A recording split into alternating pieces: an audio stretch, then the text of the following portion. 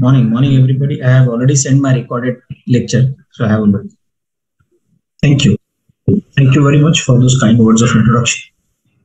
And I really appreciate the opportunity given to me by Dr. Agrawal and Team Hormone India. And next 15 minutes or so, I will be discussing with you the various clusters of type 2 diabetes and what is the Indian relevance. Now, I really like this topic because I believe that it's time to look a little bit different, analyze type 2 diabetes a little different than what we otherwise traditionally do in our day-to-day clinical practice. So thank you once again, Dr. Agrawal and the entire Hormone India team for this lovely opportunity. And for this talk, I do not have any conflict of interests. Now, this slide you must have seen, you know, many a times in almost all the conferences. But I want you to have your attention to this point that I want to make. That is that if you really look at the Southeast Asian countries, what is different than the other parts of the globe and especially the Pacific uh, group of the countries is that the look of the you know look at the rise in the incidence of diabetes and by 2021 we nearly have as an Indian subcontinent around 74 million but the rise in the Southeast Asian country is significant and Southeast Asian countries they consist of Bangladesh, Bhutan, Nepal, India, Mauritius, and Sri Lanka. Remember that Pakistan is not the part of the Southeast Asian countries. So the question is, is our phenotype of type 2 diabetes different? Why, despite of all the advances in the monitoring, in the therapeutic armamentarium, in the awareness and education related to the diabetes, why we are not achieving the goals? And we need to understand that Indians as a population, as an Indian, as a isos, uh, or, or, or a genotype or a phenotype, we do have got a difference between the fat proportion and the presence of the metabolic challenge. We can clearly see, look at the obesity, overweight, and the amount of the diabetes prevalence that we have and this paper, which was published by Dr. Anoop Misra and Dr. Shashank Joshi, beautifully illustrated that Asian Indians, we have very high amount of body fat, especially the visceral fat. We have got high waist circumference, but still we are sarcopenic. We have got very high insulin resistance and metabolic situation or a syndrome, which ultimately leads to the disruptions like diabetes or classically Indian phenotypical dyslipidemia, like you know, a very high triglyceride levels, a very low HDL cholesterol level, and a high small dense LDL cholesterol levels in comparison to the European population. And that makes us what we classically are known as Mon Indians or thin fat or tough Indians, thin from outside and fat from inside. And unfortunately, in comparison to the the Caucasians or the blacks, you'll realize from this slide that Asian males or females, we have got a significantly lower muscle mass. So we are sarcopenic. And this paper, which was beautifully published in BMJ, demonstrated that. And the reason for this is usually the genetic bias that we have. Now we need to understand that in Southeast Asian population, we do have got an increase in coding of a gene which is related to myostatin, which is actually responsible for the skeletal muscle growth in utero. And that's how we ultimately end up in having the inhibition of this encoding of the myostatin and leading to low lean muscle mass. And hence, this paper, which was published by Dr. Chittaranjan Yajnik, ominously demonstrates that this ominous octet which DeFronzo talked in 2009 in one of the AD conference during his Banting lectures. We need to understand this starts right in the utero as far as the Indian babies are concerned. Now we all are aware that Indian babies are the smallest birth weight babies in comparison to the rest of the global babies born. But still we have got a very higher amount of body fat, the visceral fat and the organ fat deposition. So we need to understand that Indian babies, right from the birth, they have a tendency to develop what is called as a metabolic derangement or metabolic syndrome. And it starts becoming evident in nearly the first decade or the, or the early start of the second decade of the life.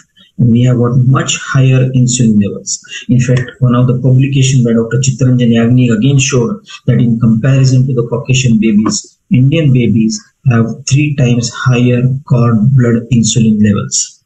So from the hyperinsulinemic thrifty gene hypothesis, we have changed ourselves to insulin resistant phenotype of uh, the typical population. And hence, Indians are labeled to have what is called as a very high amount of insulin resistance syndrome, which is not completely untrue. But then, what about those young Indians? Are there any clusters of type 2 diabetes in Indian population which are different than Westerners? And let me tell you, I want to bring it to your notice one beautiful difference between this slide, which you must have so, seen in most of the conferences, which talks about the YY paradox, where on your left side of your screen is Professor John Yudkin from Oxford, and to the right side of your screen is Dr. Chittaranjan Yajnik uh, from BJMC Pune. And look at the BMIs, identical BMIs, but look at the differences in the fat percentage. Dr. Yajnik has 21.2% of the body fat, whereas Dr. John Yudkin has 9.1. And this paper was for the first time, you know, Dr. Yajnik talked in the Melbourne IDF in 2003. And now Dr. Yajnik shared me the latest picture of him with his one of the other Oxford colleagues. And look at the change of the body fat percentage of Dr. Yajnik with the growing age and the body fat percentage of his colleague from the Oxford again. So you realize that the patterns are changing. Now Indians are probably becoming a little more different and there are a good number of publications. And one such publication which I want to mention is the INSPIRED study which was published by Dr. Uh, R.M. Anjana and the team.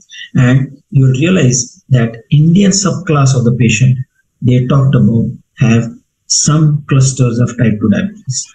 In fact, I was also lucky enough to be a part of the same team where we reviewed the new and the unique clusters of type 2 diabetes identified, especially in the Indians, where we looked at the eight different parameters. We looked at the age of the onset, the BMI, the waist hip circumference, the, the glycemic control. We looked at the dyslipidemia pattern, and also we looked at the fasting and the stimulated C-peptide levels. And we looked at the data which was of nearly 19,000 patients. So apart from the classical Asian Indian phenotype thin fat India, what we found out significantly was there are four different clusters of diabetes which are seen in the Indian population. The commonest one is the mild age related diabetes, which is around 35%, where usually you get diabetes in the fourth or fifth or sixth decade. They do have got a normal HDL cholesterol. They have a fairly well preserved beta cell function they have milder diabetes and they are at the low risk of the complication. And this is what we call it as a classical garden variety diabetes. But then comes the younger population in indian subclass of the patient. These are called as severely insulin deficient type 2 diabetes. And their percentage is again around 26 to 27 percent. So one in four are probably severe insulin deficient. So gone are those days where we talk where we were talking about only insulin resistance in type 2 diabetes. We need to consider even the insulin deficiency in type 2 diabetic patients. And in these patients, you will get very high amount of you know diabetes presenting at a very young age. They present to you at relatively low BMI and low waist hip circumference.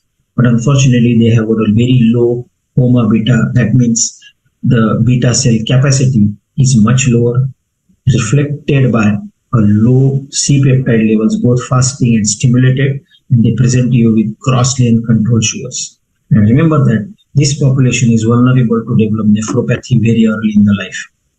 Then the third uh, cluster that we see or a subtype of diabetes that we see is what is called as IROD, that is insulin resistance, obese, obese diabetes or obesity related diabetes. This is around 30%, uh, sorry, 25% patients. They do have obesity, so they have higher insulin resistance. So they have fairly well preserved beta cell function. and these patients are vulnerable to develop diabetic kidney disease and retinopathy both way, but diabetes kidney disease is much commoner in these patients. And the fourth character, uh, typical characteristic subtype that we see in the Indian population is what is called as a combined insulin resistance and deficiency diabetes. This is a much severe form of diabetes, presents to at very low age or a younger age, and they are very highly vulnerable to develop complications. As far as the typical Indian population is concerned, apart from the insulin deficiency, IROD and the combined insulin resistance and deficiency diabetes are very, very unique to Indian population. As far as the young type 2 diabetic is diabetics are concerned, as I talked, remember that I have spoken about the impaired beta cell reserve. You can clearly see in comparison to the Indians, look at the beta cell function in the Caucasians. Now we compare a lot of times to ourselves to Chinese and look at the Chinese population and you will realize that Indians are faring much lower beta cell function in comparison to the rest of the world. This paper again by Dr. Anjana beautifully depicts, look at the age of the onset of the severe insulin deficiency and look at the BMIs. You'll realize that we manage rest very, very early. Another paper which got uh, published in Diabetologia also showed that there is a distinct change between the Indian subclass and the European subclass, where Indians now have insulin deficiency as more commoner feature in type 2 diabetes in comparison to Caucasians. And the reason is probably the story of the two tails. There is a clear diverge between the phenotype 2A and 2B, and Indians probably present through a phenotype 2B where we have got a path of developing diabetes through an impaired fasting glucose, where we have got a very you know high fasting glucose level, and a smallest trigger will actually stimulate a very rapid decrease in the beta cell function, producing a severe form of insulin deficiency, and that's how we convert from fasting to the fully you know developed diabetes very very fast. And always remember this conversion happens very fast in India.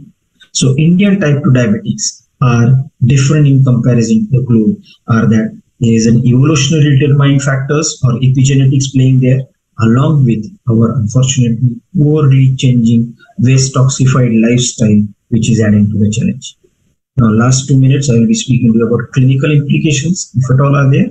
Yes, it is important to understand the relevance of this primarily because that will help you in prognostication as well as the choice of the right therapeutic interventions whenever it comes to the management of diabetes. And hence, I strongly believe, and Dr. Anoop Misra in his paper beautifully mentioned, that we need guidelines which are India specific. Guidelines and algorithms need to be developed for our use in our country, for suitable for our country, our population, apart from the global guidelines.